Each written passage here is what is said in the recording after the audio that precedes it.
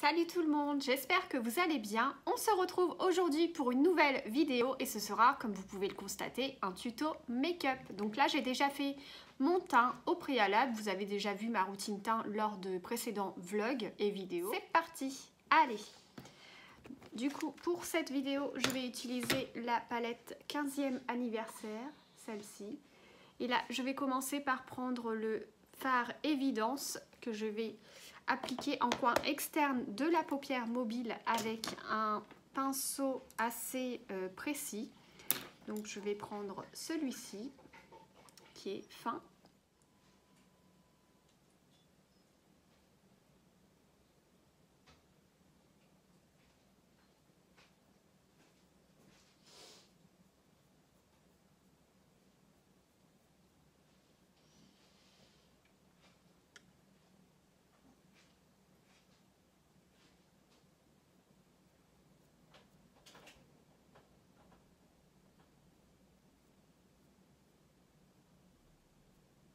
je vais aussi au ras de cils inférieur.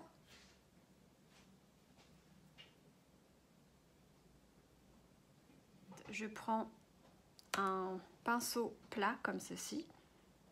Et là je vais appliquer de la matière mais vraiment que au niveau euh, en tapotant comme ceci en fait. Et je vais pas jusqu'au bout je vais juste jusqu'ici voilà, et je vais estomper la matière au niveau de la paupière mobile, histoire de fondre la couleur. Comme ceci. Ensuite, je vais prendre le fard Junk Show, qui est un rose vraiment vif, comme vous pouvez le constater. Et je vais l'appliquer sur tout le reste de ma paupière mobile. Donc je vais prendre un pinceau plat comme Vous pouvez le voir, il est vraiment bien pigmenté. Et là, je l'applique sur tout le reste de la paupière. Il est vraiment très très joli. Au préalable, j'ai appliqué une base hein, pour bien intense plutôt.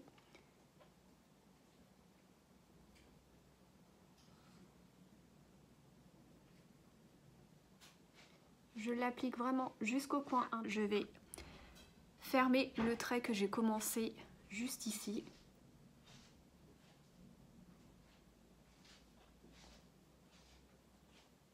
Donc là, je fais des mouvements de va-et-vient.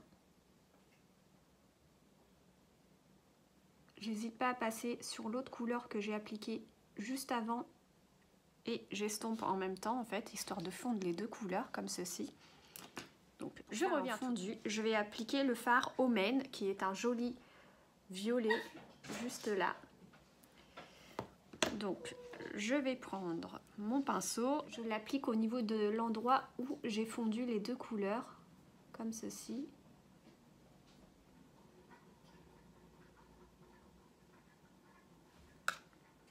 En tapotant.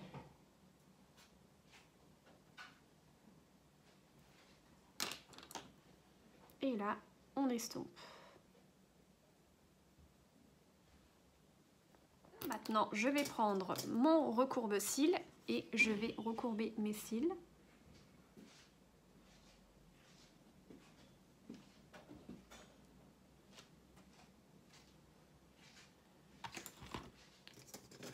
Ensuite, je vais prendre mon mascara qui est le Lost In Amalfi, le 24 heures Lasting Click Mascara de chez Kiko.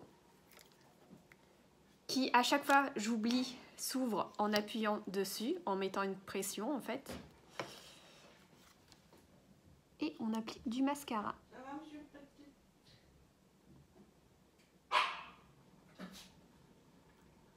Vous avez Ruby euh, en arrière-plan qui est en train de s'exprimer aussi.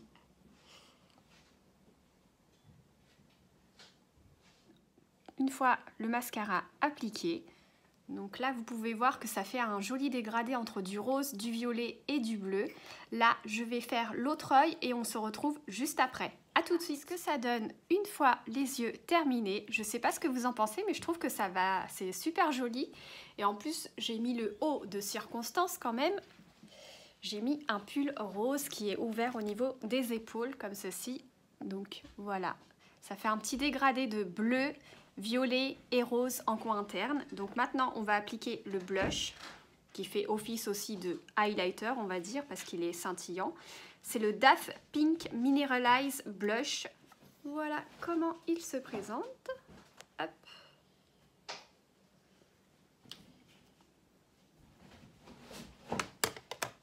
Je prends mon petit pinceau et je l'applique. Comme vous pouvez voir, il est scintillant. Il est très très joli. Il est subtil. Il est nacré aussi, mais il est très joli. Ça n'empêche que je vais appliquer quand même de l'highlighter. Ensuite, au niveau de l'highlighter, je vais prendre la Glow et Highlight palette de chez Action comme ceci. Et je pense que je vais partir sur cette couleur-ci qui est juste là. Qui est entre le blanc et le beige.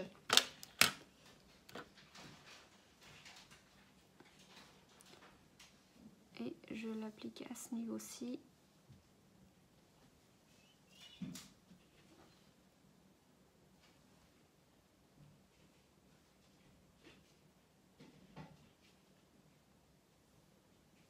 Il est très, il est très joli.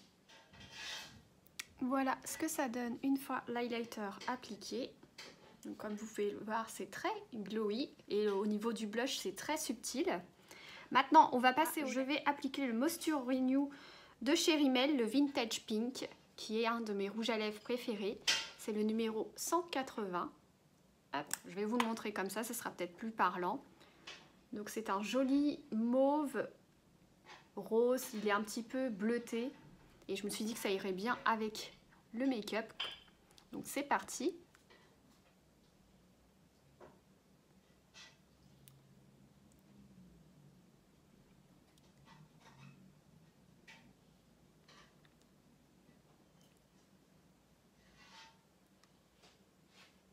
Oui, ça va bien, surtout avec le, make-up, c'est très très joli. Ensuite, pour terminer, après c'est pas euh, obligatoire, c'est optionnel. Vous pouvez aussi appliquer un gloss par-dessus. Si moi j'aurais appliqué, ce serait celui-ci. Donc euh, je vais faire la moitié avec et la moitié en laissant le rouge à lèvres pour vous montrer un petit peu euh, ce que ça donne. Donc c'est un gloss de chez Huda Beauty. je l'applique sur mes doigts. Vous savez pourquoi? Parce que si je l'applique directement sur les lèvres, le problème c'est que ça va euh, transférer au niveau du rouge à lèvres et euh, bah, après quand je vais mettre euh, le gloss à l'intérieur il n'aura plus la même couleur Hop.